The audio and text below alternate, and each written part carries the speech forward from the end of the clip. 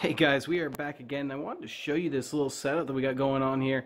This is the sound bar and a really bad cable job right there, but that's okay. Don't worry about that.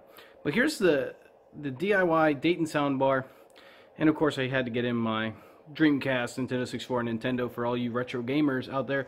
I want to show you how you could add a little bit of bass to this. And um, it's very simple. In fact, this is the way that I would prefer that most people amplify this particular system.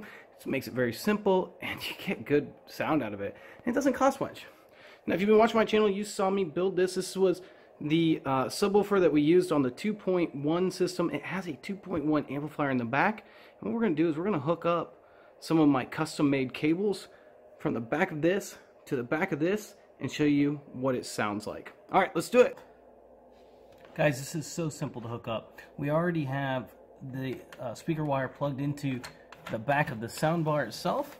So I'm just going to clamp these down. That's because before I was using speaker wire on the 2.1 system. And now I just have to grab my left and right speaker wires that I made. Now these, this absolutely makes it much easier to do this. Now here's the left one. Let's plug that one in. And here's the right one. Simple, already plugged up. Now we just need sound. Now what we're gonna do is we're gonna take a 3.5 millimeter cable from the table, from the TV itself, and run it into this amplifier. But you just take your audio out of your TV, and anything plugged up to the TV will now be hooked up to this. So any soundbar that you build, I recommend this amp. This amp is such a great little Class D amplifier 2.1 setup.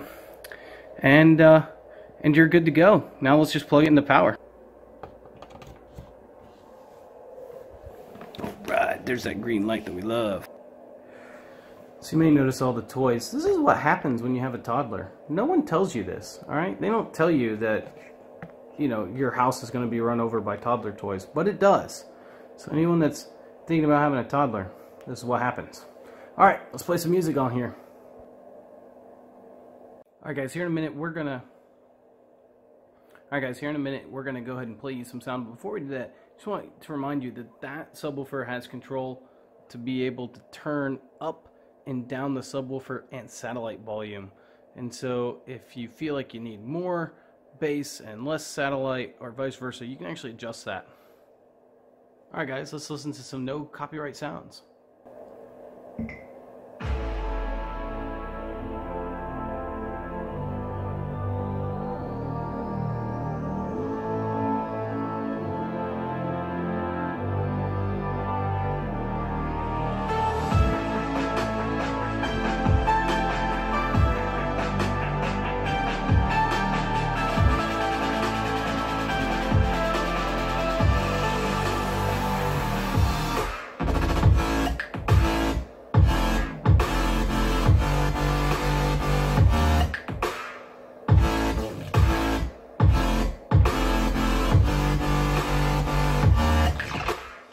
I really hope the bass actually was able to be heard. Uh, sometimes the microphone doesn't pick up the bass very well.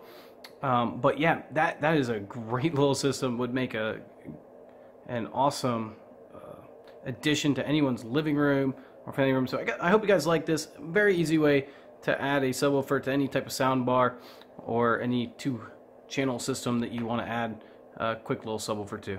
Alright guys, hope you enjoyed this video and as always if you did please give it a thumbs up share it with your friends, and as always, subscribe so you get the newest content. Thanks, guys.